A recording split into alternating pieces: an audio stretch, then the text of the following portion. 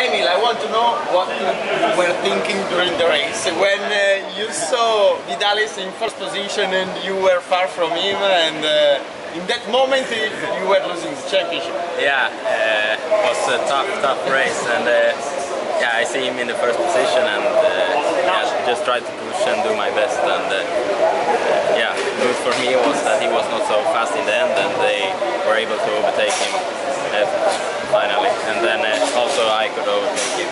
Yes, you, you took a risk, uh, in my opinion, because Yeah. overtaking Vidalis, maybe he could close the door. Instead, you, you did the, the Yeah. you, did, you took the right decision.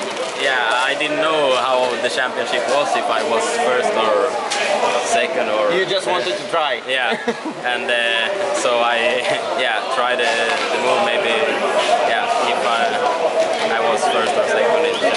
You are European champion. What's your feeling? I'm so happy and just uh, want thanks to all the team and uh, yeah Regina, uh, Mick, uh, Simone, my mechanic Mattia, everybody helped me. Also Galita tuning for very good engine. How uh, uh, your feeling? Uh, you, you felt a lot of pressure during this weekend uh, uh, because you arrived here in the top of the standings. Uh, Not so much. I we wanted to go here and do our best, but uh, yeah, this week was very very good for us. We struggled with the speed, and uh, yeah, didn't really find the the right. Conditions. And uh, what about the track? You like this track or not so much? Because even Yeah. in the WSK you were not so fast. If I'm yeah. It I'm was not wrong. the, the WSK was not one of my best races. Uh, I think uh, yeah, this track I struggle sometimes or quite often. Also.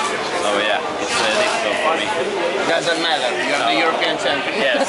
Thank Bravo.